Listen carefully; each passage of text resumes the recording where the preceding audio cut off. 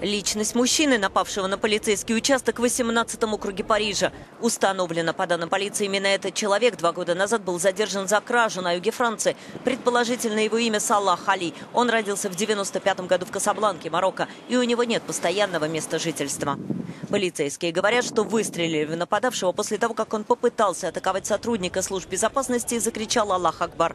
Мужчина был вооружен мясницким ножом.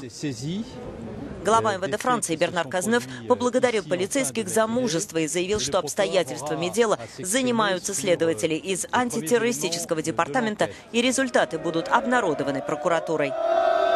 Местные жители выразили свое отношение к прибывшим полицейским и министру криками возмущения. «Это ненормально, ваши коллеги убили человека, который даже не был вооружен!» – кричит одна из женщин.